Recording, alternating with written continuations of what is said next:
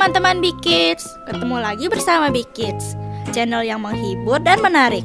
Kali ini Big Kids akan membahas tentang karakter-karakter dari animasi Detektif Conan nih. Hmm, jadi penasaran nih siapa saja ya? Yuk kita bahas satu persatu, simak informasi dari Big Kids ya. 1.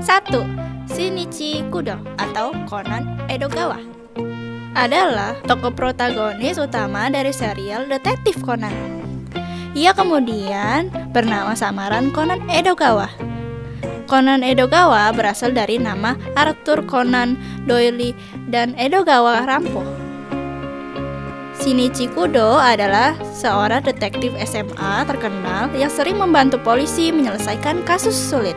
Suatu hari, ia diam-diam melihat transaksi dua orang mencurigakan yang kemudian diketahui mereka melakukan transaksi ilegal.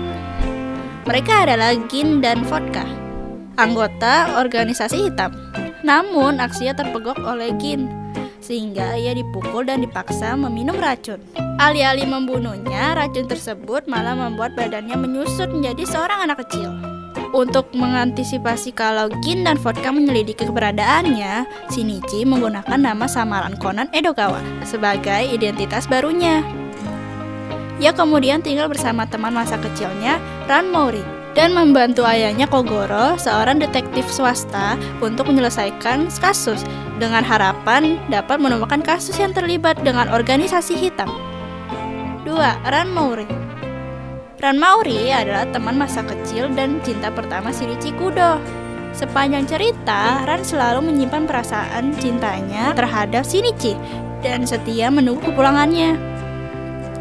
Ran tinggal bersama ayahnya, Kogoro Mauri.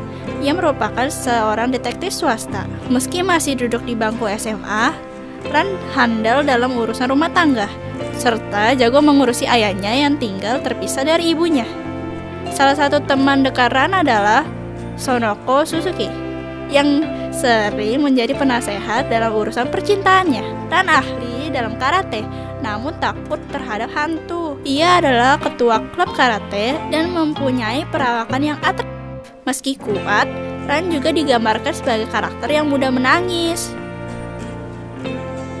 3. Kogoro Mauri Seorang detektif star dan ayah dari Ran Mauri Ia terkenal dengan sebutan Kogoro, tidur Karena kebiasaannya selalu tertidur saat memecahkan kasus di balik itu, sebenarnya Conanlah yang memecahkan kasus dengan cara menidurkan Kogoro menggunakan peluru bius.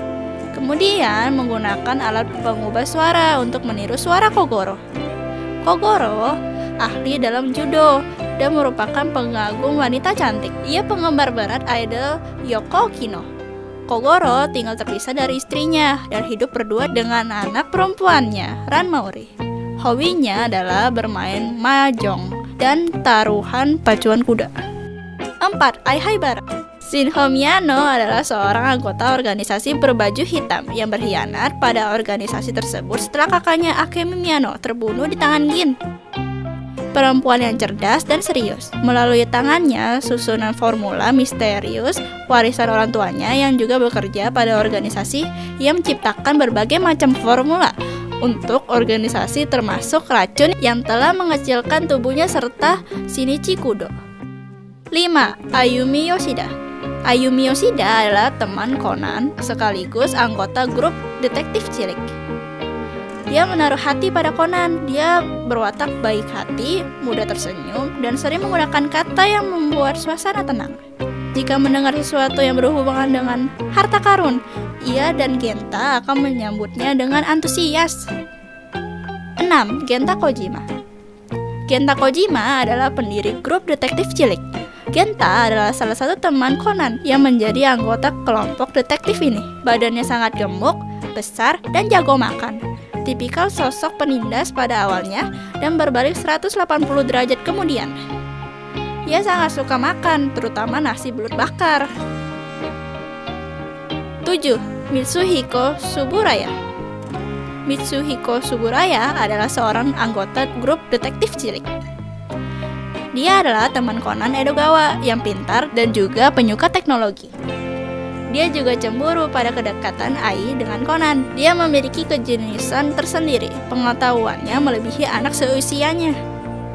8. Hiroshi Agasa Profesor Hiroshi Agasa adalah seorang profesor linglung yang menemukan beberapa perangkat untuk membantu Conan. Dia sering membantu grup detektif cilik dan membawa mereka mengadakan perjalanan dalam mobil Beetle-nya. Setelah menemukan si Homiano di jalan, dia mengadopsinya dan memberinya nama samaran yaitu Aihaibara untuk menyembunyikan dia dari organisasi berbaju hitam.